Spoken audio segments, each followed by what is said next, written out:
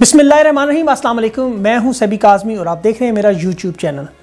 नाजिन America ने रूस से ब्लैक लाइव्स मैटर पर और डोनाल्ड ट्रंप की रुखसती का बदला ले लिया। रूस में मुजाहरे जो हैं, वो शिद्दत पकड़ गए हैं और प्यूटन के ख़िलाफ़ उठने वाली हर आवाज़ को खामोश कर दिया गया। नाजिन अमरीका के बाद अब रूस की आवाम भी सड़कों पर निकल आई है। दो सुपर पावर्स के दरमियान याद रखें कि जंग सिर्फ़ गोली बारूद से नहीं, बल्कि मुख्तलिफ़ महाजों पर लड़ी जाती है। उसकी एक ताज़ा मिसाल रूस है, जहाँ पर इस वक्त मुजाहरीन कंट्रोल से बाहर हो चुके हैं। इनकी क्या वजूहत है? लेकिन इससे बात करने से पहले मैं आपको ये बताना चाह रहा हूँ, ये क्यों हो रहा है? और ये बताना बहुत ज़रूरी है। आपको याद होगा कि जब अमेरिका में ब्लैक लाइव्स मैटर का मामला चल रहा था तो वो हंगामे कंट्रोल से बाहर हो गए थे। इन मामला का इस हद तक ख़राब हो जाना कि डोनाल्ड ट्रंप, जो कि अपने आप को मुतकल अनान समझता था, अपनी सदारत से हाथ धो बैठा। इन हंगामों में बिलाशुबा अमेरिका की गलती थी, लेकिन जिस अंदाज में इसे बढ़ावा दिया गया, वो भी अपनी मिसाल आप है। इसमें आप फ़ौरन हैंड को भूल नहीं सकते और रूस में इस कहानी को दोहराया जा रहा है। रूस में दूसरे हफ़्ते में अपोजिशन जो है, वो एलेक्स नेवलनी, वो जो रूस के कई शहरों में उनके लिए मुजाहरे हो रहे हैं। क्रैकडाउन करके अब तक पाँच हज़ार से जायद अफराद को गिरफ़्तार कर लिए गए। गिरफ़्तार होने वालों में अस्सी से ज़्यादा सहाफ़ी भी मौजूद हैं। अपोजिशन रहनमा एलेक्स नवानी की जो हरासत है, उसके ख़िलाफ़ ये मुजाहरे जारी हैं और इन मुजाहरों में सत्ताईस सौ से जायद अफराद को इससे पहले हरासत में लिया जा चुका है। रूस के ये मुजाहरे जो है वो सौ से जायद शहरों में हो रहे हैं और ये इस शख्स की हरासत के ख़िलाफ़ किए गए हैं कि उसे क्यों पकड़ा गया। ये रूस की हालिया तारीख में इन सतह, इस सतह पर मुजाहरों का ये एक गैर मामूली मौका है। मुजाहरीन सदर व्लादिमीर पुटिन के ख़िलाफ़ नारे लगा रहे हैं और रूसी हकाम की जानब से इन मुजाहरों को काबू में रखने के लिए ज़बरदस्त इंतज़ाम किए गए, लेकिन वो इंतज़ाम काफ़ी नहीं लग रहे। गुज्त हफ्तों से इन मुजाहरात में जो शामिल अफराद हैं, उनकी तादाद में रोज़ बरोज़ इजाफा होता जा रहा है। ये मुजाहरे रूस में आज तक जितनी भी उनकी तारीख है, उसमें सबसे बड़े मुजाहरे हैं। लेकिन ये मुजाहरे क्यों हो रहे हैं? मुजाहरीन और सहाफ़ियों को क्यों कैद किया जा रहा है? क्या व्लादिमीर प्यूटन का इकतदार ख़तरे में है? और उसके पीछे कौन है? और ये सब हैरान कौन इनके इंकशाफात मैं इस वीडियो के आखिर में आपको ज़रूर बताऊँगा। इसे पूरी वीडियो को ज़रूर देखें। नाजिन एलेक्स नवालनी, ये गुज्त साल अगस्त में जहर के ज़रिए पर जानलेवा हमला किया गया था, जिसकी वजह से इन्हें इलाज के लिए जर्मनी मुंतकिल किया। इन्हें फिर वहाँ महकमा जेल जेल की दरख्वास्त पर वतन वापस रूस में भेजा गया, जहाँ वो गिरफ़्तार हो गए। इन पर इल्ज़ाम था कि 2014 में इन्होंने मनी लॉन्ड्रिंग केस में मुतल की जाने वाले साढ़े तीन साल की सज़ा के अवज़ वो शरात पूरी नहीं की। निवालनी का ये मौक़ रहा है कि उन पर यह मुकदमात सियासी बुनियादों पर कहेंगे और रूस के जो हिजब इख्तलाफ के सीनियर रहनमा हैं और हुकूमत के नाकद हैं बहुत बड़े। ये चौतालीस साल इनकी उम्र है। एलेक्स नवालिन का पूरा नाम। इन्हें बेहोशी की हालत में गुजशत साल अगस्त में रूस से जर्मनी मुंतकिल किया गया था। एलेक्स नवालनी जो है, वो रूस के मकबूल तरीन इंसदाद बदनवानी जैसे हमारे नैब है और हिजब मुखालिफ जो है अपोजिशन है, उसके रुकन है। सोशल मीडिया पर इनकी सख्त वीडियोज़ हैं, जो कि लाखों लोग देखते हैं। और उन्हें क्रिमान जो उनकी जगह है, वहाँ पर एक बहुत बड़ा मतलब रूसी हुकूमत ने उन्हें रास्ते से हटाने के लिए एक बहुत बड़ा जाल भी बना था। इस वक्त जो रूस का सबसे बेहतरीन हथियार है, वो है जहर। दुनिया का सबसे ख़तरनाक जहर जो है, वो रूस में बनाया जाता है, जिसको मेडिकल में साबित करना नामुमकिन है। ये इससे पहले अपने एजेंट को भी बरतानिया में इसी जहर से वो मार चुके हैं। ये रूसी के जी बी सीक्रेट सर्विस जो है, उन्होंने जहर बनाया है। जो अगर किसी शय पर लगा दिया जाए और बंदा उसे छू ले, उसकी जल्द के दौरान वो खून में शामिल होकर बंदे के जो दिल है और गुर्दे को फेल कर दे। और फिर पोस्टमार्टम से ये पता नहीं चलता।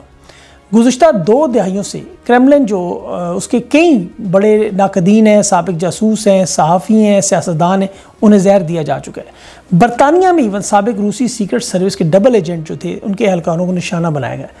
अलेक्जेंडर नाम के एक शख्स 2006 में उन्हें पहले रेडियो एक्टिव पोटियम 210 से जानलेवा हमला किया गया। फिर दो दो में 2018 में सॉरी सरगे पर जहरीले असाब कन जो शिकन, वो जो असाब तोड़ देता है। फिर चौतालीस साल नवालनी पर 20 अगस्त को सर्बिया के शहर वहाँ पर इनके ऊपर ये जो प्रवास के दौरान ही इन, इन्हें, इनकी तबीयत ख़राब होगी और इतनी ख़राब हुई कि वो प्रवास को फिर वो अमसक की जानब उन्हें ले गए। रूस की जो तहकीकाती रिपोर्टर हैं, वो और प्यूटन के जो नाकिद हैं, ये 2006 में इन्हें गोली मारकर एक शख्स उन्हें हलाक कर दिया गया। फिर ये दावा किया कि 2004 में कासकास में, शुमाली कासकास में वहाँ प्रवास के दौरान ये जहर इन्हें दिया गया एक खातून को और वो बीमार हो गई। और फिर उसके बाद बेहोश हुई और फिर आहिस्ता आहिस्ता ये जहर जो है वो पोलोनियम से, टू टेन से अजियतनाक मौत तक जा पहुँची। ये हमले कई हफ़्ते बाद इस जानलेवा जहर की शनाख्त करते हैं। पता नहीं चलता। अलेक्स नवालनी के जो रूस में कई दुश्मन उनमें सदर प्यूटन उनके हामी शामिल हैं और उनकी जो जमात है, यूनाइटेड रशा उसकी पार्टी को नवालनी ने मतलब चोरों और जराम पेशा अफराद की हमायत करार दिया था। प्यूटन जो थे वो 2000 में, आपको पता सदर बनने से पहले सोवियत दौर में खुफिया इदारे के अफसर थे। बर्लिन के अस्पताल में ज़िंदगी और मौत की कश्मश लड़ते हुए उन्हें कोमा में रखा गया ये नावलनी जो है। और फिर ये रूसी हुकूमत की शमूलियत जब हुई, उसमें हुकूमती अरकान जो थे उससे पहले इस, इसको रद्द कर चुके थे इस बात को। लेकिन फिर बड़ी अजीब व गरीब तफसीत सामने आई। जैसे कि पुरसरार और मतलब जाली कह लें बम धमाका हुआ, जिसने हवाई अड्डे को पूरा खाली करने पर मजबूर कर दिया। और जहाँ नवालनी का त्यारा हंगामी तौर पर लैंड करना था, ये वहाँ हुआ। फिर रूसी डॉक्टर, जिन्होंने सरकारी तौर पर इस बात पर इसरार किया कि निवालनी जो है वो मेटापोलिक डिसऑर्डर में मुबतला है और एक दिन से ज़्यादा के लिए जो है वो अस्पताल में इन्हें नहीं रख सकते। तो रूसियों के लिए जहर के पुरसरार हमले जो हैं, वो अमूमन राज ही रहते हैं। जो सड़कों पर गोली मार देने वाले जो तर्ज के हमले हैं, उनके मुकाबलों में ये कातलों के लिए एक बड़ा अहम है। वारूस में कहा जाता है कि आप वो शराब ना पिए, किसी को चाय पिला दें और चाय पिलाएँ तो फिर उसमें जहर डाल दें, अपने एजेंट्स के लिए। हर आम बंदे के लिए नहीं वैसे। तो हुकूमत का अब इकतदार में रहना बहुत नामुमकिन होता जा रहा है। रूस में सदर प्यूटन का जो मुझे लगता है कि उनका ये डबा शायद गोल हो जाए क्योंकि रशियन फेडरेशन की जो सरहदें हैं, उनमें भी बड़ी रद्दबदल इस वक्त मुतव है। लेकिन ये दुनिया में सिर्फ़ रूस में के में या जो मुसाद है इसराइल की, उसमें या दुनिया की और सीक्रेट सर्विसेज़ के पास ये जहर सिर्फ़ एक वायद एलिमेंट नहीं है, और भी सीक्रेट सर्विस जो एजेंसियाँ यूज़ करती हैं, आम तौर पर ये अपने डबल एजेंट्स के लिए यूज़ करती हैं। डबल एजेंट्स पर वो इसलिए यूज़ करते हैं जब वो किसी को एसेट बनाकर एक किसी मुल्क में भेजा जाता है, और जब वो शख्स, खातून या मर्द अगर उस मुल्क के किसी काम का ना रहे तो फिर उन्हें रास्ते से हटा दिया जाता है। क्योंकि उनका ज़िंदा रहना उस मुल्क के लिए बहुत ज़्यादा मतलब ख़तरात का बायस बनता है। इसी तरह अपोजिशन के लोग हों, सहाफ़ी हों, और चूँकि सदर प्यूटन का जो बैकग्राउंड है, वो के के एक अफसर हैं, और के में आपको पता है हाईली ट्रेंड जो प्रोफेशनल्स हैं, उनकी मदद से ऐसे काम किए जाते हैं। इस पर बहुत सी फ़िल्में बन चुकी हैं, बहुत से ड्रामे बन चुके हैं, जिसमें दिखाया जाता है किस तरह सीक्रेट सर्विस एजेंट्स को रास्ते से हटाया जाता है।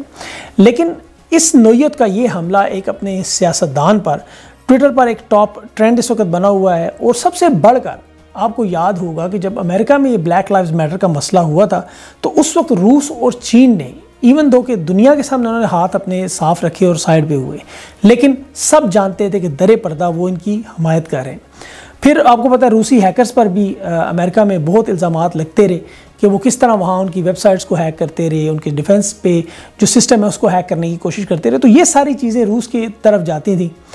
अब इस अपोजिशन लीडर के मामले को भी पूरी दुनिया में इस तरह उठाया जा रहा है कि ये सदर प्यूटन के लिए ना सिर्फ़ उनके अपने मुल्क के अंदर, बल्कि उनके मुल्क के बाहर भी ये एक बहुत बड़ा ख़तरा बनता जा रहा है। लेकिन सबसे इंपॉर्टेंट चीज़ जो मैं डिस्कस करना चाह रहा हूँ, वो ये कि देखें सुपर पावर सिर्फ़ अल्लाह ताला की ज़ात है। इस दुनिया पर, चाहे वो रूस हो, अमेरिका हो, चाइना हो, दुनिया का कोई भी मुल्क हो, ये शुरू में जितनी मर्ज़ी ताकत इकट्ठी कर लें, जितने मर्ज़ी हथियार इकट्ठे कर लें, जितने मर्ज़ी एसेट्स बना लें, जितनी मर्ज़ी स्ट्रॉन्ग ये अपनी जो सीक्रेट सर्विसेज़ बना लें। लेकिन एक वक्त ऐसा आता है कि जब इन्हें हथियार फेंकने पड़ते हैं इसी तरह का हमने देखा डोनाल्ड ट्रंप के मामले में कि उनके ऊपर देखें निकलते साथ ही ना सिर्फ़ फेसबुक बंद हो गया, फिर ट्विटर बंद हो गया, फिर इंस्टाग्राम बंद मतलब उनके ऊपर उन्होंने सोशल मीडिया जहाँ वो अपनी आवाज़ तक एक आम बंदे की तरह नहीं उठा सकते, हालाँकि उनके मिलियंस में फॉलोअर्स हैं, उसके बावजूद उनकी आवाज़ को बंद कर दिया गया। वो शख्स जो कि दुनिया को कंट्रोल करने के दावे करता था आज कुछ अरसे बाद शायद आपको उसका नाम भी नज़र आए। इसी तरह प्यूटन भी है, इसी तरह और भी दुनिया के बड़े बड़े ताकतवर लीडर हैं जो आते हैं और जाते हैं।